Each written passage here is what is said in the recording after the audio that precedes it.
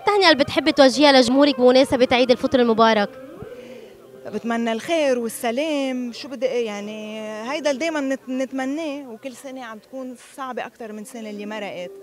آه يا رب هيك يكون في صحوة ضمير عن عن بهالمنطقة كلها.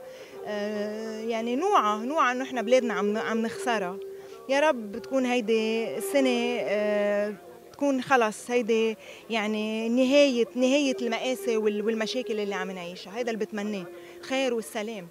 آه شنيكي بالدراما؟ هيدي السنة كتير مميزة والأدوار اللي عم تاخديها كتير رائعة. وبنفس الوقت عم نشوف كأنك عم بتكون الحكى حكى مع بعض أمور شوائب عم بتصير بالساحة التمثيلية.